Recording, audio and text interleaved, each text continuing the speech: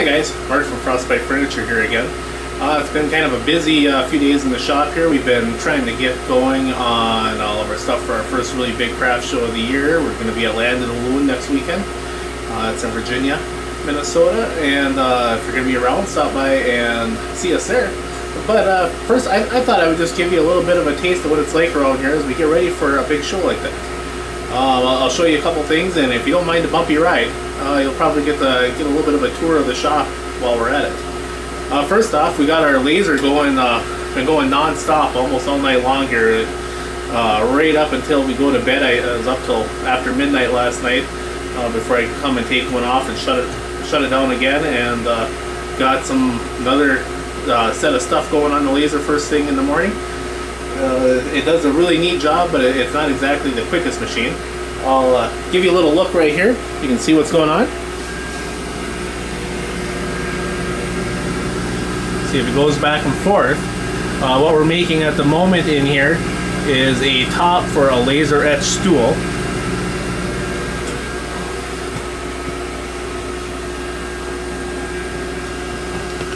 The one that's currently on there is uh, another one just like this. It's got uh, some monkeys on there. Uh, a lot of kids like to monkey around, so we thought monkeys would be kind of fun. Uh, let's see what else we got. We got uh, some uh, dinosaurs because uh, kids like dinosaurs, so we thought that'd be a pretty good stool. Um, this little uh, fishing guy. A few others here. What else? We got one here that'd be just perfect for a young kid to use uh, as a step stool in the bathroom. You know, they got the kind of the toothbrush, the soap, the sink, uh, because that's what a lot of these little step stools get used for is for kids in the bathroom.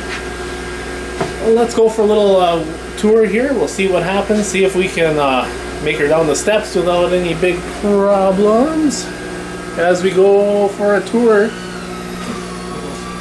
Let's see how this goes.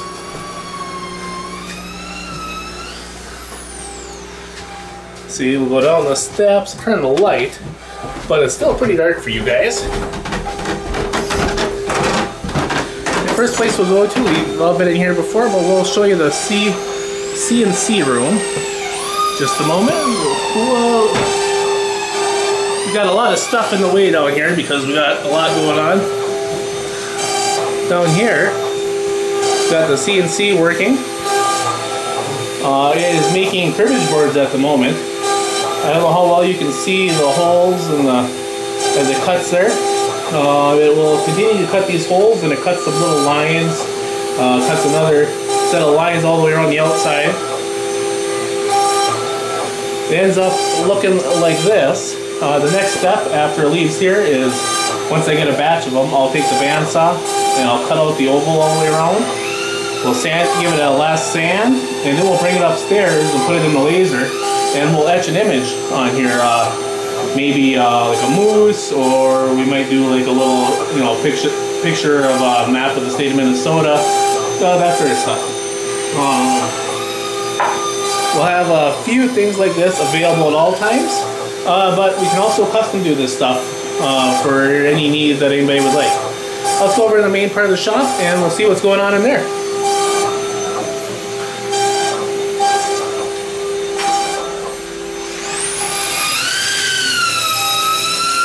We got a lot going on in here.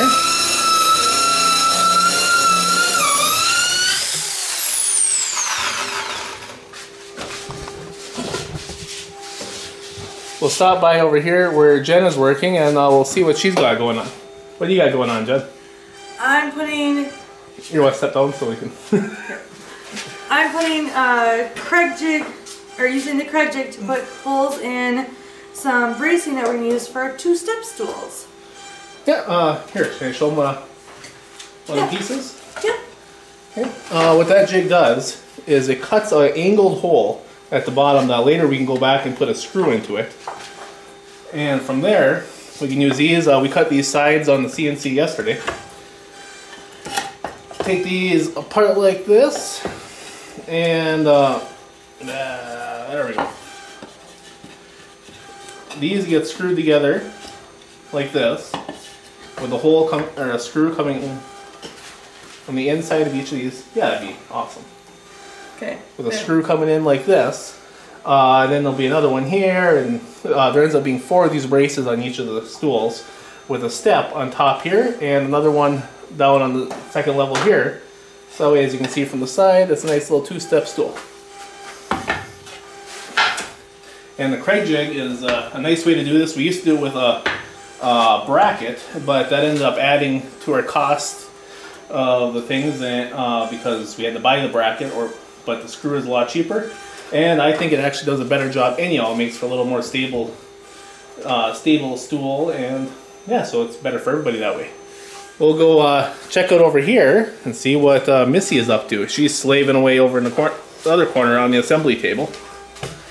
You're gonna have to excuse Missy. She can't exactly talk right now because she was busy uh, teaching canoeing at day camp for Cub Scouts this week, and she had to yell at kids that were out in the uh, lake and kind of lost her voice a little bit. So Missy, can you say hi? Hi. yeah, she can't speak a whole lot right now. Well, uh, Missy, you want to show them what you got going on here?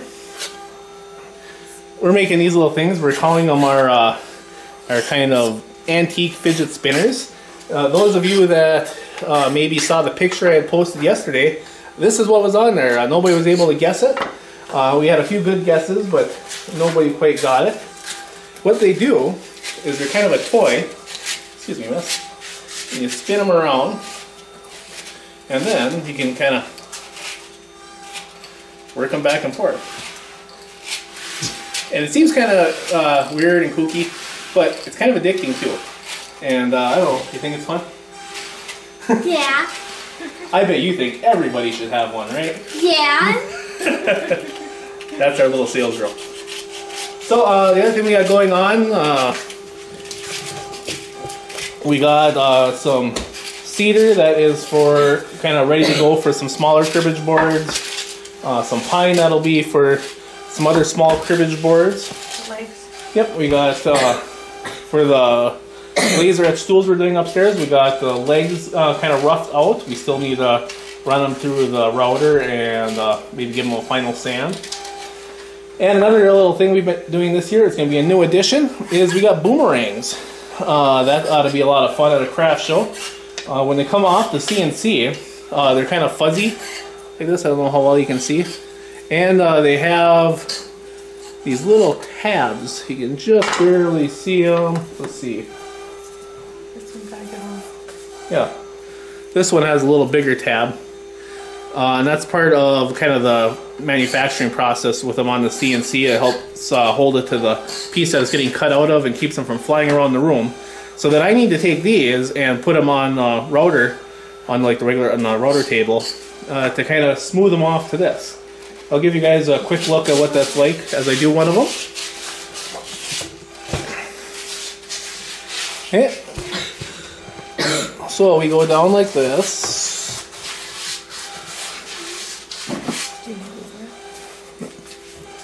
And this can get loud, guys, so we flip it on.